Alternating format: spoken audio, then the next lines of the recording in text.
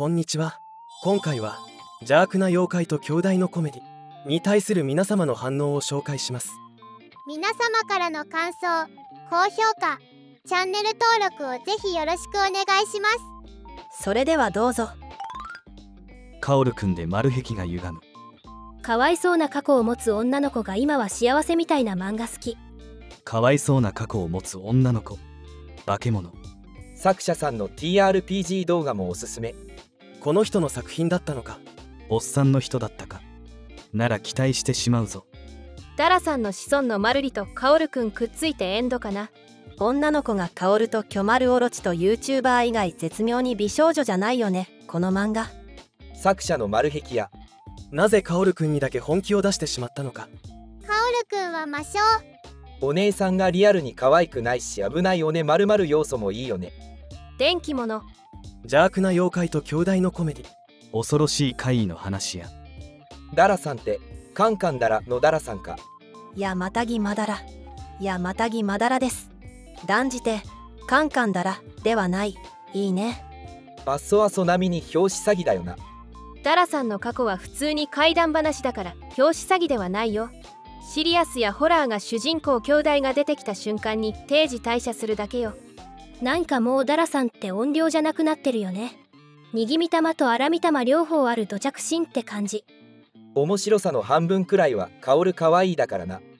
ハーフや YouTuber が可愛くて他が微妙とか無駄にリアル。頭爬虫類もまあ学校に一人はいる美人とかそんな感じだろうし。ダラさんの過去話をも庭園だよ。現代人がみんなかなりのくせ者だけど善良なのが良いよね。お姉さんはちょっと怪しいけど悪霊から見てアウト寄りの政府っていう。ダラさんのクソ姉。もしかしてダラさんが自我失ってる期間中にこいつもたたり神化してないこれ？ダラさんの切られた手足が完全な図素物と化してるからマジでヤバいんだけどね。片手だけでも恐ろしいのはバカチューバーの末路が示したわけだし。あスパロボの人だ。今時の子供ってカンカンだらわかるのかな？クソ姉の山を守護してんのが主人公の家でダラさんの山を守護してんのが丸垣ちゃんの家だっけ？試し読みで1話と2話読んできたけど面白いなこの漫画。何あのガキたち怖いもの知らずすぎる。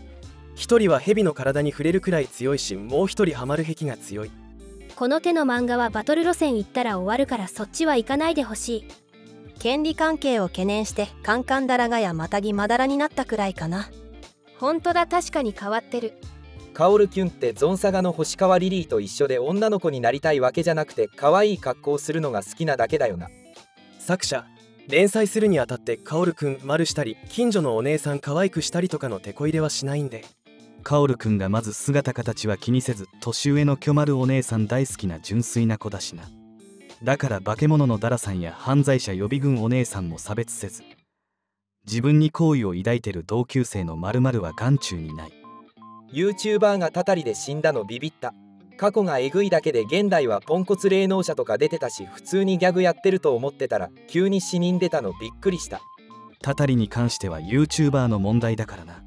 しかも YouTuber ちゃんこの後丸々食われて百鬼夜行入りとかいうオーバーキルだよな確か。メインの女はことごとく微妙なのに残丸予定のモブレベル YouTuber が無駄に可愛いのなんなんだ。草生える。作者のマル壁の生徒しか TRPG 動画とか見ればわかるが作者の考えた女はほぼ全員微妙かでかい問題抱えてる。設定へのこだわりは TRPG 社らしいというかギリギリで中に過ぎないラインを攻めてるところとか。まあ祠の封印を自ら解いてる罰当たりだからやむなし。カオルくん作中トップクラス美少女だけど生えてる。YouTuber 美人だけど丸ぬ。ダラさんの姉美人だけどクソイカヘビの子。美人だけど乗っ取られてる。美少女に問題を持たせることにより微妙な女をよく見せる高等テクニック。ガチでマイナーレベルの漫画について語れるお前らにビビる。マイナーレベルって言ってもニコニコ星画で最新話。が10万再生以上だしそこそこ知名度はありそうだが。どうなんだろう。売れてるかは知らないけど。ニコニコでほぼほぼ全部見れるから今からでも参加できるぞ。連載版はどっかで課金しないと難しいけどスパロボのキャラデザもやってたよねと持つか先生？この子たち山の管理権手に入れたら山をアミューズメントパークダラさん中心のにしようとしていて草生える。多分ちょっとツンデレな程度のこの子が今のとこ一番大当たりだよな。付き合ったりしたら面倒くさくなりそうな素質はあるが。でも性癖に従っちゃうからあの子。刮目してなよ作者のついっぽいの見たら兄弟が霊能者のカムイさんに宣伝しておいたでとか言ってて草。絶妙な物差加減に既視感あると思ったら TRPG 動画の人か。そばかすが丸壁なんだろうなっていうのはひしひしと感じる。ツインテちゃんは薫の嫁だから明らかな美少女じゃないけどできるだけ可愛く描いてやろうという気概を感じる。